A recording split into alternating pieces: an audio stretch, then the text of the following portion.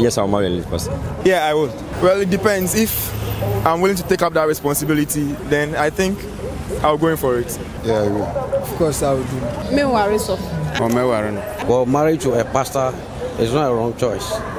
Yeah, so it depends on your choice. Provided she loves me and I do, I don't see any problem with that. It depends. Right now, like I don't want that whole responsibility and you get that thing, but then I'll support him if that if it comes to that. I don't see anything wrong with it. So far as I'm in love, we connect with each other. I think it's cool. It's not a big deal. Provided she's she's been called by God and she's doing it genuinely, I will, I will, I will sit in this.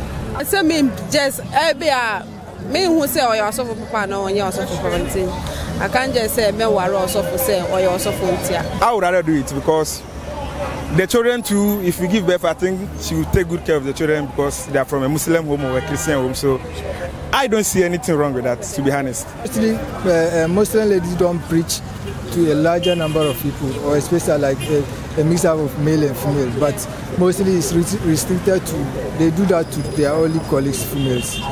And then it's, it's kind of cool. Yeah. It's part of promoting the deen, the Islam. I don't see anything wrong with a lady ministering the gospel. I'm a pastor myself, so I would like to marry someone who is uh, who understand me or in the way yeah, that I am. So when you cry na Mewari no, ɔdɔ nti ɛne asɔre a mpɛ sɛ mekɔ nti mɛtumi aware no